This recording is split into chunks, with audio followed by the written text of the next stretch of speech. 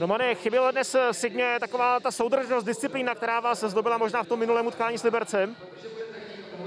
Tak já myslím, že zejména nám chybělo trošku víc odvahy, protože eh, my jsme přijeli, hráli jsme, hráli jsme více v bloku, ale, ale dopředu jsme si toho moc nevytvořili a, a, a nás soupeř potrestal ze dvou standardek a zejména eh, ke konci prvního poločasu eh, nám dal góla z breaku a potom ze standardky, takže poločas 2-0 bylo to velice těžký, potom my jsme se snažili trošku víc dopředu, ale, ale bylo to málo.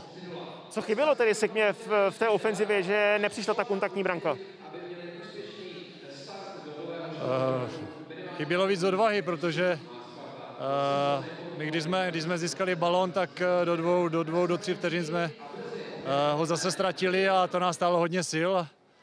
A potom, potom v závěru už Sparta kombinačně to zvládla a pak dala znovu ze standardky góla, takže to bylo, bylo to potom hrozně těžký. Pojďme k těm inkasovaným brankám. Ta první byla možná trochu zbytečná. Hanousek odkop, prázdný bořek dočkal, dával balón za obranu, dal se tomu předejít? Tak já nevím, jak to bylo za mnou. Kluci si mysleli, že je offside. Bylo to hrozně rychlý, já jsem se otočil, vůbec nevím, jak, jak ta situace potom byla. Samozřejmě hrozně, hrozně jednoduchý gol.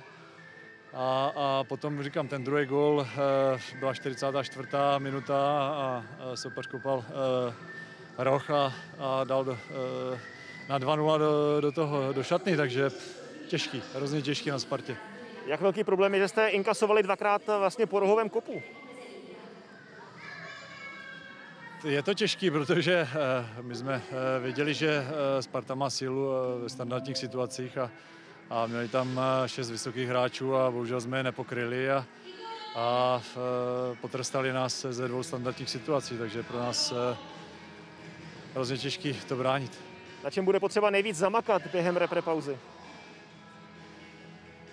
Tak zamakat, já si myslím, že určitě tam bude, bude nějaký běhání, protože té přípravy, té přípravy toho bylo méně, takže určitě nějaký běhání a, a, a hlavně se pak připravit na další zápas.